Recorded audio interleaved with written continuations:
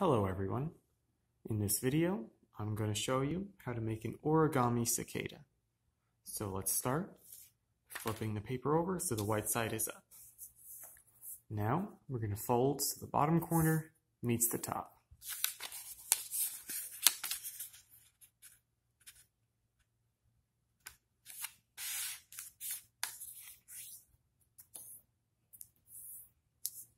Now, let's fold both the right and left corners so they meet the top.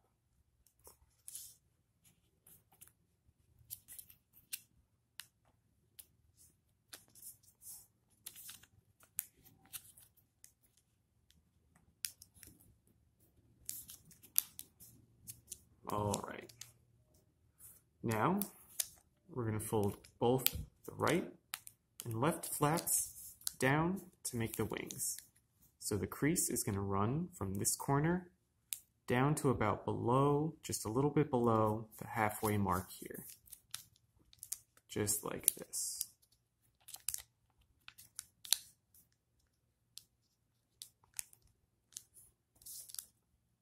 Now, we'll make the left match.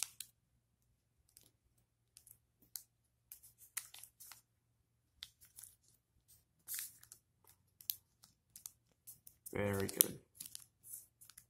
So now, take the top flap and fold it so the corner is about right here.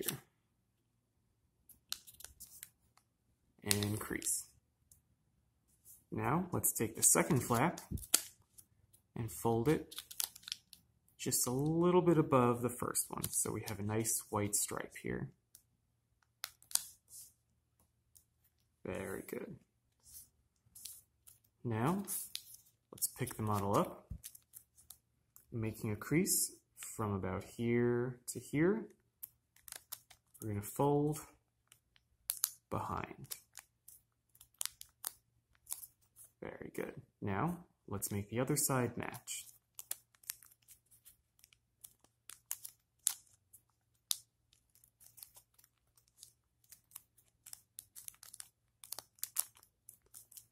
Now, last step, we're going to fold the whole model in half.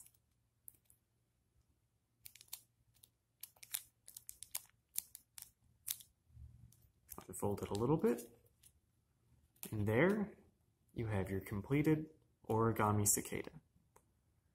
I hope you enjoyed this video and that you check out all our other origami animals.